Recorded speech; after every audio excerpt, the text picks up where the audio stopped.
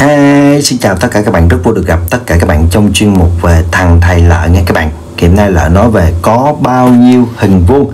Thì hay còn gọi đây là dạng đếm hình vuông đó các bạn. Đếm hình vuông.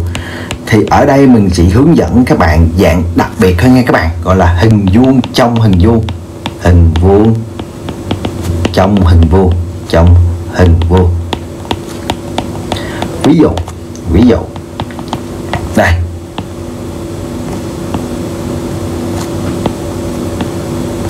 Được chưa? Đây là những cái hình nhỏ nè, cái cái hình nhỏ nè, các bạn nhìn không hình nhỏ này, nó nằm trong cái hình vuông bự nè. Được chưa? Đây được gọi là hình vuông, trong hình vuông. Thì bước 1 nè, các bạn nhớ bước giúp lợi. Bước 1 bước 1 đánh số, đánh đánh số. Rồi, khi các bạn nhìn cách đánh ờ, đánh số của lợi nha các bạn, đánh từ tay trái sang phải. Từ trái sang phải. Rồi từ trên từ trên xuống dưới, thì xuống dưới. Và nhớ đánh bên bên phía tay trái thôi, bắt đầu đánh nè.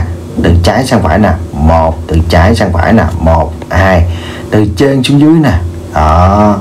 Một, hai. Ok chưa? Các bạn hình dung cách đánh chưa? Bước 2 bước 2 đó là các bạn nhân. Nhân này bắt đầu.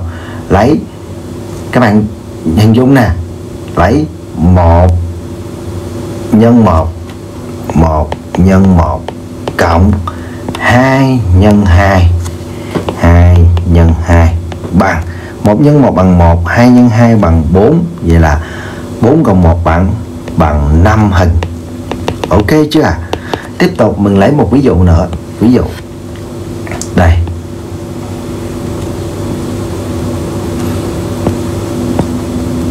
Đây đây là dạng hình vuông trong hình hình vuông. Các bạn đánh nè, từ trái sang phải.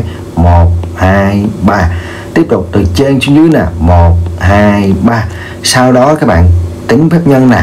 1 nhân 1 1 nhân 1 2 nhân 2 cộng 2 nhân 2 cộng 3 nhân 3 cộng 3 nhân 3 bằng rồi, các bạn tính ra kết quả bằng bao nhiêu? Comment kết quả ở phía dưới giúp lợi. Tương tự mình cho một bài tập, các bạn hãy giải và comment kết quả ở phía dưới giúp lợi nha các bạn. Đây. Rồi, các bạn hãy comment xem coi có bao nhiêu hình vuông ở hình số 3 này các bạn.